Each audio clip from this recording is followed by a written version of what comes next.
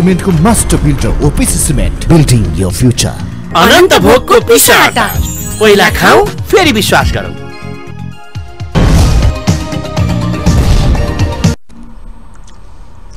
नमस्कार। कार्यक्रम बुद्धराइजमा स्वागत छ म विनोद परियार। बुद्ध सामुदायिक टेलिभिजनबाट यहाँले ठिक यही समयमा यो कार्यक्रम हेर्दै आइरहनु भएको छ। हामी समसामयिक विषयवस्तुहरूमा केन्द्रित रहेर छलफल गर्ने गर्छौँ। प्रमुख प्रतिपक्षी दल नेपाली काङ्ग्रेस अहिले जागरण अभियान लिएर देश दौडाहामा निस्किएको छ। कार्यकर्ताहरूको माझमा पुग्दै सरकार र पार्टीलाई जगाउने अभियानमा कङ्ग्रेस लागेको बताइरहेको बेला नेपाली काङ्ग्रेसको राष्ट्रिय जागरण अभियानको खास सान्दर्भिकता के छ? र पछिल्लो समयमा सरकारले गरेका गतिविधिप्रति कङ्ग्रेस निकै आक्रामक पनि देखिएको छ र उसले विभिन्न खालका विरोधका कार्यक्रमहरू पनि गर्दै आइरहेको छ। आज हामी यही सन्दर्भमा केन्द्रित रहेर समसामयिक राजनीति र नेपाली काङ्ग्रेसको राष्ट्रिय जागरण अभियानको सन्दर्भमा केन्द्रित रहेर कुराकानी गर्दैछौँ। आज हामीसँग हुनुहुन्छ नेपाली काङ्ग्रेस बुटोल उपमहानगरका सभापति खेलराज पाण्डे। पाण्डेजी यहाँलाई स्वागत छ। यहाँलाई पनि धन्यवाद यो नेपाली काङ्ग्रेसको यो राष्ट्रिय जागरण अभियान अहिले देशव्यापी रूपमा सुरुवात भइरहेको छ। रूपन्देहीमा पनि कार्यक्रम भइसकेको छ। यो खास यो जागरण अभियानले काङ्ग्रेसलाई जगाउँछ? कसरी जगाउँछ? जागरण अभियान शब्दमा मात्रै केन्द्रित छैन। जागरण अभियानको निर्णय र त्यसको परिपत्र आउँदा यसका विधिहरू पनि सँगै पठाइएको छ। र यो जागरण अभियानको जुन खाका छ यो जागरण अभियानको नाम पछि दिए पनि यसको विधि पार्टीको महासमिति सम्मेलनबाटै नेपाली काङ्ग्रेसलाई कसरी लाने भन्ने बारेमा भएका बुदाहरूलाई टिपोट गरेर जागरण अभियानहरू अगाडि सारिएको छ। र नेपाली काङ्ग्रेस केन्द्रको वैशाख एक्काइस गतिको परिपत्र अनुसार यो वैशाख पच्चिस गतिदेखि जेठ पच्चिस गतिसम्म सतहत्तरै जिल्लामा प्रथम चरणको अभियान एक महिने कार्यक्रम जागरण अभियान गरिनेछ र यसको शुभारम्भ हिजो वैशाख पच्चिस गते सतहत्तरै जिल्लामा केन्द्रबाट खटाइएका प्रतिनिधिको रोभरमा यो जागरण अभियान शुभारम्भ भएको छ। अब यो जागरण अभियान खासै सङ्गठनलाई मजबुत बनाउनुको निम्ति हो कि सरकारको विरोध गर्नका लागि?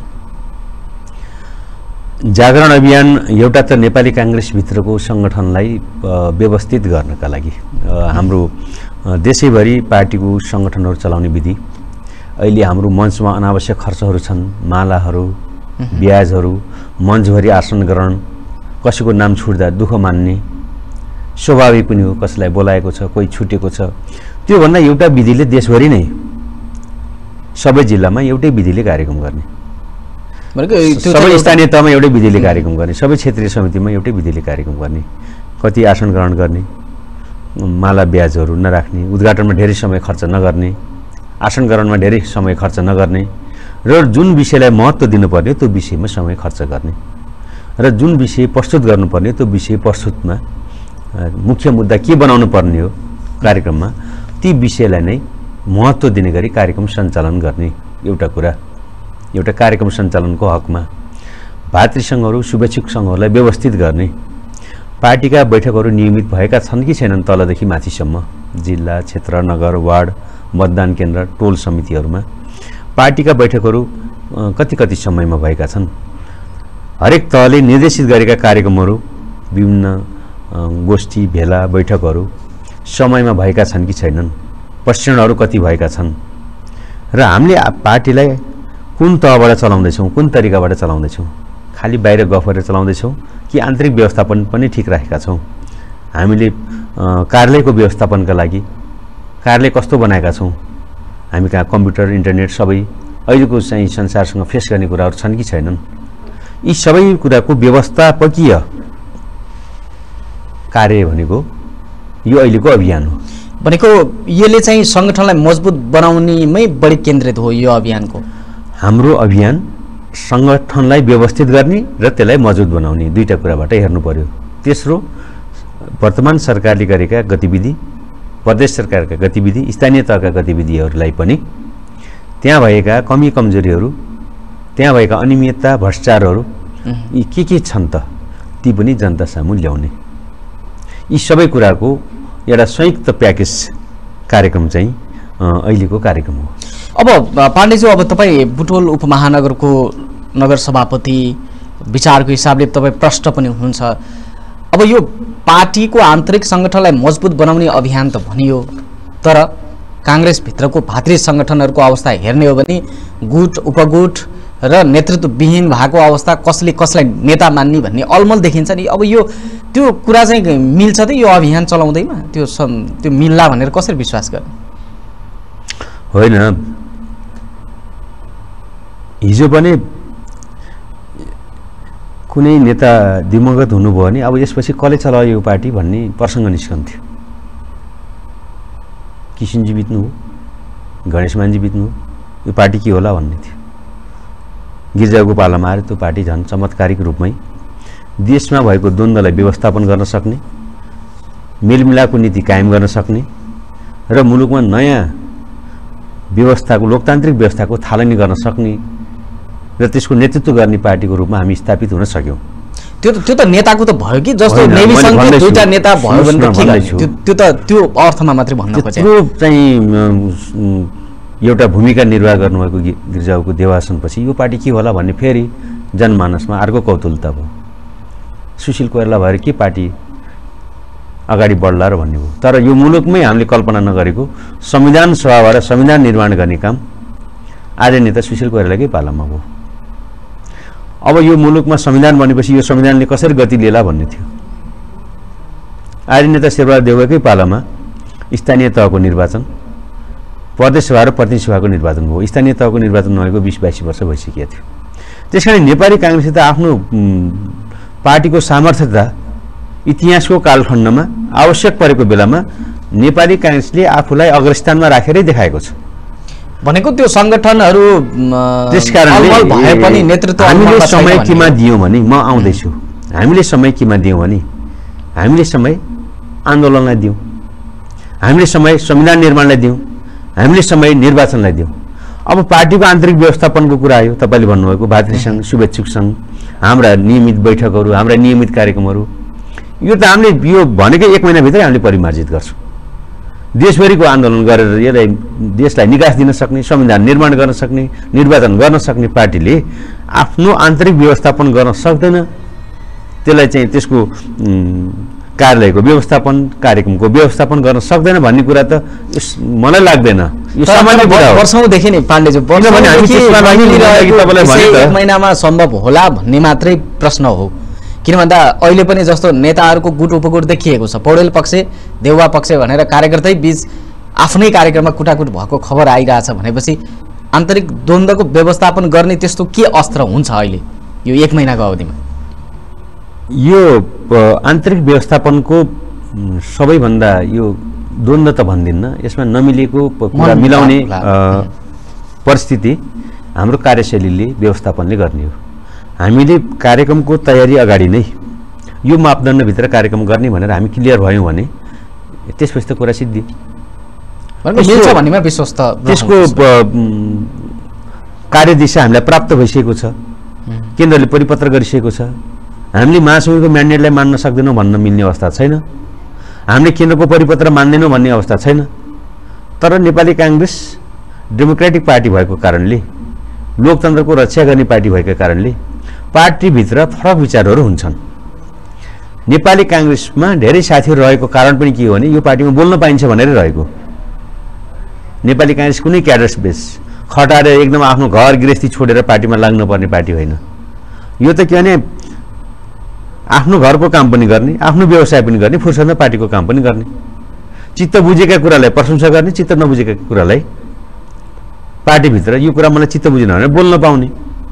भएका कारणले हामी लोकतन्त्रवादी भएको हो।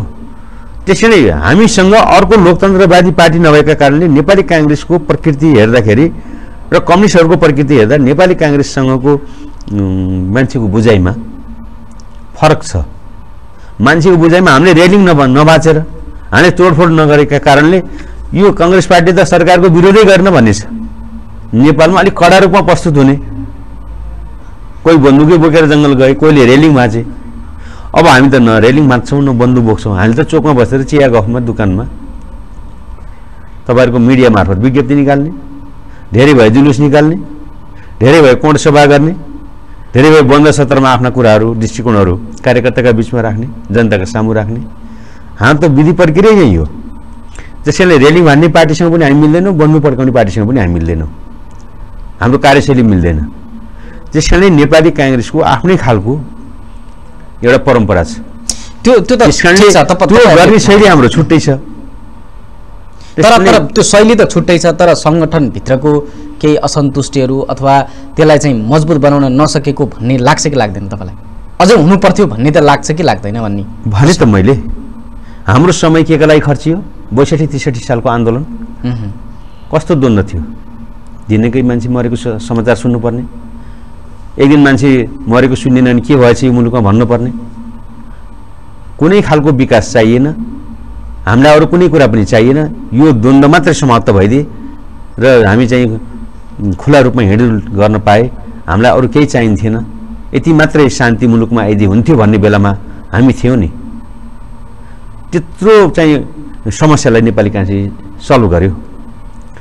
कैयौँ वर्षदेखि रहेको चाहिँ मुलुकमा रहेको राजतन्त्रलाई समाप्त गर्नलाई नेपाली काङ्ग्रेसले मुख्य भूमिका निर्वाह गर्यो।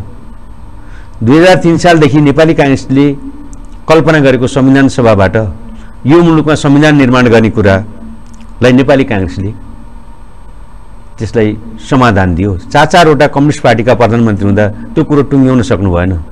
दोस्रो संविधान सभाको निर्वाचन गर्नु पर्यो।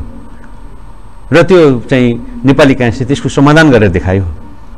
यो मुलुकमा वर्षौँदेखि निर्वाचन हुन सकेको थिएन हामी हार्छौँ हाम्रो अहिले सङ्गठनको परिस्थिति ठिक छैन। हामी अरू काममा भुलेका छौँ। हामीले सङ्गठनलाई चुस्त दुस्त राख्न सकेका छैनौँ र यो बेलामा चुनाव गर्दा हाम्रो परिणाम हाम्रो पक्षमा नआउन सक्छ भन्ने कुरामा हामी क्लियर थियौँ। तर पनि हामी चुनाव हुनैपर्छ किनभने अब चुनाव भएन भने यो संविधान कार्यान्वयन हुँदैन र संविधान कार्यान्वयन भएन भने फेरि भोलि अर्कै परिस्थिति निर्माण हुन्छ भनेर हामी निर्वाचनको पक्षमा लाग्यौँ। र हामीले स्थानीय तहको निर्वाचन गऱ्यौँ। त्यो बेला पनि कति कठिन थियो। मधेसमा अर्कै खालको आन्दोलन थियो। तपाईँहरूले त्यो समय परिकल्पना गर्नुहोस्।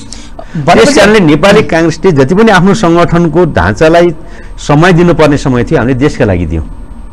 भनेपछि अब हामीले- अब चाहिँ अब हामी फुर्सदमा छौँ। सरकारमा पनि छैनौँ। तपाईँहरू फुर्सदमा बस्नुहोस् भएको झन्डै डेढ वर्ष हुन आँट्यो त। यति दिन त अझै मजबुत हुनु पर्थ्यो काङ्ग्रेस अझ सशक्त रूपमा आउनु पर्थ्यो भन्ने शुभेच्छा त छ नि त त्यो खालको। महासमिति सम्मेलन गऱ्यौँ। धेरै पार्टीका हाम्रो अहिलेको नयाँ संरचनासँग जानुपर्ने विषयहरू पास भए। टोल समितिहरूको धारणा आयो प्रदेशको धारणा आयो यी सबै बाँकी थिए। मुलुक एउटा नयाँ संरचना गइसकेपछि हामी जानुपर्ने विषयहरू बाँकी थिए। ती विषयहरू हामीले पुरा गऱ्यौँ महासमिति सम्मेलन मार्फत। र अब हामीले त्यसलाई कार्यान्वयनका रूपमा महासमिति सम्मेलनबाट पास भएका बुदाहरूलाई कार्यान्वयनका लागि हामी यो जागरण अभियान मार्फत अगाडि बढेका हौँ। त्यस कारणले यो जागरण अभियानको यो एक महिनाले हामीलाई अब नयाँ ढङ्गले कसरी जाने भन्ने कुरामा प्रारम्भ गर्छ। भने यो जागरण अभियान सञ्चालन गर्नुको पछाडि भनेको अब आगामी निर्वाचनको तयारीका लागि कार्यकर्तालाई उत्साह जगाउन पनि हो भनेर भन्दा हुन्छ। त्यसको तयारी क्रियाशील पार्टीमा सधैँ कुनै न कुनै कार्यक्रमले रूप लिएको हुन्छ। त्यो निर्वाचनसँग पछि जोडिएला तर त्यो पार्टीलाई जीवन्त राख्नका लागि हामीले कुनै न कुनै खालका नयाँ ढङ्गका कार्यक्रमहरू ल्याउनु पर्ने हुन्छ र पार्टीलाई व्यावहारिक रूपमा अगाडि बढाउनका लागि पनि। यहाँको समाज सुहाउँदो यहाँको परिस्थिति सुहाउँदो रूपमा अगाडि बढाउनका लागि पनि हामीले केही कार्यक्रमहरू परिमार्जन गर्दै ल्याउनु पर्ने हुन्छ। र त्यो अनुसार यो जुन जागरण अभियान छ यसमा हरेक जिल्लामा सतहत्तरै जिल्लामा केन्द्रबाट प्रतिनिधि खटाउनु भएको छ। उहाँहरू एक महिना कतै जानुहुन्न? भनेको जुन जिल्लाको लागि केन्द्रीय प्रतिनिधि आउनुहुन्छ उहाँहरू त्यही जिल्लामा बस्नु त्यही जिल्लामा बस्नुहुन्छ र त्यसमा एकजना केन्द्रीय प्रतिनिधि पुरुष र एकजना महिला प्रतिनिधि। र हरेक जिल्ला कमिटीको क्षेत्रको स्थानीय कमिटीको उहाँहरूले बैठक कति भयो के के कार्यक्रमहरू भएका छन् के के कार्यक्रम गर्ने उहाँहरूकै मापदण्डमा यो एक महिनाभित्र उहाँहरूले नै राखेको मापदण्डभित्र मतलब केन्द्रले तोकेको मापदण्डभित्र हामीले कार्यक्रम गर्नुपर्छ र देशभरि एक रूपमा एकपटक कार्यक्रम गइसकेपछि एक महिना त्यसपछि त्यसको एउटा बानी पर्न थाल्छ। अहिले अर्कै खालको बानी परेको छ। आसन ग्रहण गऱ्यो एक एक घन्टासम्म। पर्नुमाथि बोलेर सिधिसक्यो फेरि आएकोलाई आसन ग्रहण गराउँदैछ। भनेपछि अब काङ्ग्रेसले त्यो त्याग्छ त? त्यो ब्याज लाउँदा लाउँदा कार्यक्रमको खर्चभन्दा ब्याजको खर्च बढी छ मालाको खर्च बढी छ ती सबै कुरा चाहिँ अब सुधार हुन्छ। हाम्रो निर्देशिकमै आएको छ म बोकेरै आएको छु. के के गर्न पाइने? के के नपाइने भनेर। उद्घाटन कार्यक्रम कुनै पनि कार्यक्रम भयो भने एउटै शैलीमा देशभरि भनेको छ मौन धारण राष्ट्रिय गान माल्यार्पण कार्यक्रमको उद्घाटन मन्तव्यहरू सदस्यता वितरण कार्यक्रम हरेक कार्यक्रममा विसर्जन। यसमा खादा माल्या माला माला लगाउने ब्याज लगाउने केही पनि छैन हाम्रो। भनेको अब यो कङ्ग्रेसको राष्ट्रिय जागरण अभियानपछि अरूले पनि यो सिकुन् भन्ने उद्देश्य हो। पार्टीका पर्यो। कार्यक्रम कार्यक्रममा पहिलो सिकाइ हुनु पर्यो पहिले हामीले सिक्नु पर्यो त्यसपछि अरूले सिकुन् तपाईँहरू अरू विभिन्न सङ्घ संस्थामा अरू कार्यक्रममा जाँदाखेरि पनि कति लामा कार्यक्रमहरू हुन्छ। मूल उद्देश्य के हो के का लागि बोल्न वक्ताहरू आउनुभएको? हो कुन मञ्चमा कुन वक्ताले कुन विषयलाई प्रायोरिटी दिनुपर्ने त्यो रहँदैन। यति लम्बितान हुन्छ वक्ता पनि अल्मलिया हुन्छ कार्यक्रम आयोजक पनि अल्मलिया हुन्छ। त्यसैले नेपाली काङ्ग्रेस अब आफ्नो पार्टीको कार्यक्रमलाई व्यवस्थित गर्न चाहन्छ। आफ्ना भातृ सङ्घहरूलाई व्यवस्थित गर्न चाहन्छ। र हामीले आफूलाई व्यवस्थित गरेपछि बल्ल अरू पक्षमा हामी बोल्छौँ। अब पाण्डेज्यू अघि तपाईँले भन्नुभयो कि नेतृत्वले चाहिँ अब यो बिचमा चाहिँ हामी आन्दोलनको अगुवाई गऱ्यौँ। संविधान निर्माण गऱ्यौँ कानुन संविधानलाई संस्थागत गर्ने विकासमा लाग्यौँ त भन्नुभयो। यो बिचमा चाहिँ नेपाली काङ्ग्रेसको नेतृत्व ठिक ढङ्गले अगाडि बढेको थियो उहाँहरूको कार्यशैली ठिक थियो भन्ने हो तपाईँको भनाइ। राष्ट्रिय राजनीतिमा त हामी ठिक थियौँ नि। पार्टीभित्रको सङ्गठन अहिलेको परिणाम विषयलाई- ल्याएको तर नि त। जस्तो नेतृत्वले त पार्टी आफ्नो पार्टी पराजित भएर अरू पार्टीलाई जिताउने भन्ने त हुँदैन होला नि त। होइन हामीले गरेकै त्यही छौँ। हामीले छ्यालिस सालमा माले र मार्क्सवादीलाई मिलाएर एमाले पार्टी गठन गर्थ्यौँ एमाले पार्टी आफ्नो बलमा गठन भएको पार्टी हो र। भनेपछि नेतृत्वले अहिलेसम्म जे गरेको छ ठिक छ। कुनै कमजोरी छैन। केही कुराहरू होलान्। हाम्रो पार्टीभित्र आन्तरिक रूपमा पार्टीलाई यो गतिमा लानु पर्थ्यो भन्ने बहस आन्तरिक होला। तर राष्ट्रिय राजनीतिमा नेपाली काङ्ग्रेसले कमी कमजोरी गरेको छैन। हामी ठिक गरेका छौँ त्यसमा। तर अहिले त अब पाँच वर्ष त सरकार बाहिरै रहनु पर्ने भयो नि त। सरकारमा बाहिर सरकारमा जानै नपाउनु कुनै चुनाव हार्नु पार्टीको त्यो लक्ष्यसँग मिलेन भन्ने होइन। चुनाव जित्नु पार्टीको आन्तरिक व्यवस्थापन त्यसका वितरण प्रणालीहरू त्यसका कार्यशैलीहरू होलान्। तर मूल मुद्दा के हो? दुईवटा फरक विषय हुन् नि त। हामीले राष्ट्रिय लक्ष्य हासिल गर्नका लागि गरेका सङ्घर्षहरू परिणामहरू मूल मुद्दा हुन्। एउटा राष्ट्रको पहिला त राष्ट्रपति जिम्मेवार हुनु पर्यो नि। हामी राष्ट्रपति जिम्मेवार नभएर पार्टीप्रति जिम्मेवारी बढी भएको भए पार्टीको कार्यकर्ता मात्रै व्यवस्थापन गर्न लागेको भए योभन्दा बढी अर्कै रूप हुन्थ्यो। राष्ट्रिय मुद्दाहरू हराउँथ्यो। अरू पार्टीले आफ्नो पार्टीको कार्यकर्ताको लागि मात्रै चिन्ता गरे। हामीले राष्ट्रिय मुद्दामा चिन्ता गऱ्यौँ। अब हामी हामीले राष्ट्रिय मुद्दामा चिन्ता नगरेर आफ्नो पार्टीको कार्यकर्ताको लागि मात्रै चिन्ता गरेको हामी व्यवस्थित हुन्थ्यौँ। तर राज्य व्यवस्थित हुन्थेन। पनि- त व्यवस्थित छैन भन्ने अहिले कसको मुद्दामा राज्य चलेको छ अहिले देश गिर्जापथमा चलेको छैन? सम्झौतामाथि देश चलेको गर्छन्। छैन? केपी केपी ओलीले ल्याएको सम्झौता हो र यो शान्ति प्रक्रिया। उहाँ त गिर्जाको पथमा चल्नुभएको छ नि। प्रचण्डजीले भन्नुहुन्छ उहाँले। रोल्पाबाट जुन बन्दुकले मुलुक कब्जा गरिन्छ भन्नेमा हुनुहुन्थ्यो त्यसमा त आउनु भएन नि। संसदीय धारमा आउनुभयो। हामीले त आफ्नो संसदीय धार त छोडेका छैनौँ एक इन्च पनि तलमाथि छैनौँ। अरू त सबै आफ्नो बाटो छोडेर संसदीय धारमा आएका छन् नि। त्यस कारण राष्ट्रिय मुद्दामा हामी जितेका छौँ हेर्नुहोस्। हामीलाई एकदम यसमा कुनै मनमा हामीलाई कमा फुलस्टप पनि हामी कहीँ चुक्यौँ भन्ने छैन। नेपाली काङ्ग्रेस आफ्नो विचारको राजनीतिमा एकदम यसलाई पोइन्ट गर्नुहोस्। नेपाली काङ्ग्रेस विचारको राजनीतिमा आफ्नो नीतिगत राजनीतिमा कहीँ पनि एक इन्च चुकेको छैन। अरू दलले त पार्टीको नामै फेरे पार्टीको नीति सिद्धान्त के हो भन्ने नै छैन। हिजो आन्दोलन गर्दा एउटा नीति थियो अब आन्दोलन सिद्धियो पार्टीको नीति बनाउनै बाँकी छ। हाम्रो त तिन सालमा पनि त्यही नीति थियो विचार थियो अहिले पनि त्यही विचार छ। हाम्रो व्यवस्थापनमा कमजोरी हो। पार्टीको व्यवस्थापनमा कमजोरी रह्यो तर राष्ट्रिय राजनीतिक मिसनमा ऊ विचलित छैन भने छैन। अब हामी कुराकानी जब विचारमा विचलित छैनौँ भने हाम्रो गन्तव्य पनि विचलित छैन। यो पनि तपाईँले यो कुरा पनि मनमा राख्नु होला अब हाम्रो भावी गन्तव्य पनि जसरी हाम्रो इतिहास गौरव गर्न लायक छ हाम्रो भावी गन्तव्य पनि उत्तिकै भविष्य छ हाम्रो। लोकतन्त्रवादीको बाहेक भविष्य यो मुलुकमा छैन। कहीँ पनि छैन। त्यस कारण अहिले बिचमा हाम्रो काम गर्दा गर्दै कति कुरा मिल्यो मिलेन।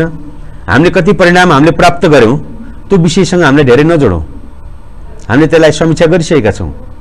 र त्यसरी यो हाम्रो जागरण अभियान आएको छ। त्यो समीक्षा मार्फत। यो जागरण अभियान आएको छ। अब सरकारको काम कारबाही जस्तो तपाईँ स्थानीय तहमा बुटोल उपमहानगरको एउटा उम्मेदवार पनि हुनुहुन्थ्यो। अब स्थानीय प्रदेश र केन्द्र सरकारले गरेका कामहरूप्रति तपाईँले देखेको धारणा पछिल्लो के हो? सरकार कसरी अगाडि बढिरहेछ? स्थानीय तहमा हिजो सर्वदलीय बैठकबाट नगरपालिका चलाउँदा र अहिले एक इन्च के फरक छ नयाँ काम के भएको छ? एउटा पनि उदाहरण दिने ठाउँ छैन। त्यस कारणले जनप्रतिनिधि नगरपालिकामा छन् भन्ने कुराको अनुभूति दिन सकेका छैन। केवल एउटा मात्रै काम भएको छ करमा अत्याधिक वृद्धि भएको छ। जुन जायज होइन। यहाँ भएका बजेटहरू फिर्ता हुने काम भएको छ जुन राम्रो कुरा होइन। यहाँ भएका सरकारी कार्यालयहरू र अरू विभिन्न कार्यालयहरू अन्यत्र सर्ने काम भएका छन्। जुन राम्रो लक्षण होइन नगरपालिकाका हकमा मलाई योभन्दा बढी भन्नु छैन। मलाई लाग्छ मेयरले नै मनमा नै आफूलाई लाग लाग्यो होला। म सबभन्दा फेलियर मेयर भएँ भन्ने उहाँलाई लागेको होला। उहाँले भन्न नमिलेको होला। नगरपालिकाका हकमा। प्रदेशले आफ्नो कामको रूप देखाउन सकेका छैन। एउटा प्रदेशको राजधानी प्रदेशको नामाकरण टुङ्गो लाउन सकेका छैन। लोगो पनि प्रदेश नम्बर पाँचको लोगो मानिएको लोगो छ। प्रदेशको नाम राखेको भए त्यो लोगो पनि अर्कै देखिन्थ्यो होला सान्दर्भिक देखिन्थ्यो होला। प्रदेशको नामाकरण यति सजिलो लुम्बिनी नाम राख्नलाई यति गाह्रो छ। अब त त्यसमा सहमति होला भन्ने कुरा आइरहेको प्रदेशको राजधानी अस्थायी बुटोल टुकिसकिएको छ धेरै पूर्वाधार बुटोलमै छन्। त्यसलाई कसरी विवाद गराउने भनेर प्रपञ्च गरिँदैछ षड्यन्त्र गरिँदैछ। त्यसमा हाम्रो सहमति छैन। हाम्रो विरोध छ यसमा। प्रदेशको हकमा। र केन्द्र सरकारको कुरा गर्ने भने योभन्दा लाजमर्दो सरकार इतिहासको कुनै कालखण्डमा नेपालमा सरकार यस्तो सरकार थिएन। तेत्तिस किलो सुनदेखि यातायात व्यवसायलाई चाहिँ तथा नाम दुःख दिने कामदेखि लिएर बोइङ काण्ड निर्मला हत्याकाण्ड भलुवाटार जग्गा काण्ड प्रदेश नम्बर पाँचको गाडी काण्ड काण्डै काण्ड बाहेक केही छैन। राम्रो कुरा सुनाउने एउटा पनि कुरा छैन। त्यस कारणले केन्द्रको सरकारले पनि जनतालाई दुःख दिने बाहेक कुनै काम गरेन। तपाईँको अहिले प्रशासनमा यति धेरै विभेद छ। कुनै दलको रूप रङ र आवरणका आधारमा मात्रै न्याय प्राप्त हुन्छ। सामान्य जनताका कुराहरू सुनवाई हुँदैनन्। धेरै गुनासोहरू आउन लागेका छन्। कि हामीले यसैका लागि लोकतन्त्र ल्याएको भनेर यो सरकारसँग व्यवस्था पनि जोडिन लागेको छ हाम्रो लागि चिन्ताको विषय यो हो। सरकारले बदमासी गर्ने हजुर। सरकारले नालायकी पनि देखाउने। समस्या चाहिँ व्यवस्थामाथि आउने। भनेपछि त्यसकारण यो यी- सरकारका कारणले व्यवस्थै जाने हो कि? कडा विरोध गरौँ व्यवस्थामाथि सङ्कट। कङ्ग्रेस चाहिँ कडा विरोधी भएन। कडा विरोध गरौँ व्यवस्थामाथि सङ्कट। विरोध नगरौँ सरकार यति नालायक भयो यति लाजमर्दो सरकार भयो। अब प्रधानमन्त्रीज्यूले एउटा सम्मानीय व्यक्तित्वले जुन खालको आचरण देखाउनु पर्ने त्यो खालको व्यवहार नगरेर अत्यन्त सोच्न नसकिने शब्दमा मञ्च सदनबाट आफ्ना व्यवहारहरू देखाउनुहुन्छ। योभन्दा अप्ठ्यारो के हुन्छ? त्यस कारणले सरकार दुई तिहाईको थियो भनेर जुन देखाउनु पर्ने परिस्थिति थियो उहाँले त्यो सक्नु भएन। इतिहासले जुन मौका उहाँहरूलाई दिएको थियो सुवर्ण अवसर त्यसमा उहाँहरू चुक्नु भएको छ। अब यस्तै गरी सरकार चल्ने नि यो मुलुकमा कम्युनिस्टको परिकल्पना कम्युनिस्टहरूबाटै हुँदैन। सरकार हुनु। भनेको देशको लागि दुर्भाग्य हुँदो रहेछ भन्ने कुरा उहाँहरूले नै गर्दै हुनुहुन्छ। पाण्डेज्यू हामीसँग समय अभावका कारणले हजुरलाई यी बिचमै रोक्नु पर्यो। यहाँहरूको यो राष्ट्रिय जागरण अभियान जुन चलिरहेको छ त्यसको सन्दर्भमा केन्द्रित रहेर र केही सरकारको विषयमा हामीले कुराकानी गऱ्यौँ। यहाँलाई यो समय र संवादको निम्ति बुद्ध टेलिभिजनको तर्फबाट धेरै धेरै धन्यवाद छ। हस् यहाँलाई पनि धन्यवाद। यो कार्यक्रम सुनिरहनुभएका सबै साथीहरूलाई पनि आभार र धन्यवाद प्रकट गर्न चाहन्छु। हस् धन्यवाद छ आज हामीले कुराकानी गऱ्यौँ नेपाली काङ्ग्रेसका बुटुल उपमहानगरका सभापति खेलराज पाण्डे। उहाँसँग हामीले नेपाली काङ्ग्रेसको जागरण अभियान र यससँग जोडिएका विषयहरूसँग केन्द्रित रहेर कुराकानी गऱ्यौँ। आजको यो छलफल कुराकानी यहाँलाई कस्तो लाग्यो? यहाँको मनमा उठेको प्रश्न जिज्ञासा भए हामीलाई खबर गर्न सक्नुहुन्छ। बुद्ध सामुदायिक टेलिभिजन हेरेर साथ दिनुभएकोमा सम्पूर्ण दर्शकहरूलाई आभार प्रकट गर्न चाहन्छौँ। आजका अतिथि बुटोल उपमहानगरका नेपाली काङ्ग्रेसका नगर सभापति खेलराज पाण्डेज्यूलाई पुनः धन्यवाद। प्रविधि संयोजनको लागि नरेश अधिकारीलाई आभार प्रकट गर्दै म विनोद परियार आजको श्रृङ्खलाबाट छुट्टिन्छु नमस्कार।